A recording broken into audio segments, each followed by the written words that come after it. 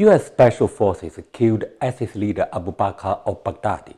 They did a good job. Baghdadi got what he deserved. I want to remind Washington that the killing of Baghdadi is not only the success of the U.S. Many have contributed in the fight against the Islamic State. ISIS had been defeated, which paved the way for the U.S. military to remove Baghdadi.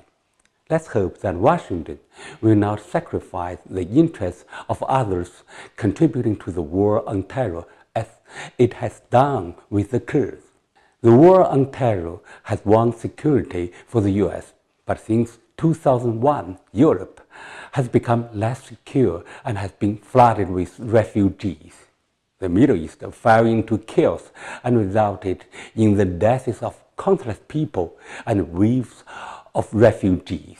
You can see that Europe and the Middle East have not benefited from the war on terror. With decreased spending in fighting the war on terror, and in recent years, the US has resumed playing the great power game, which has brought new fundamental tensions to the world.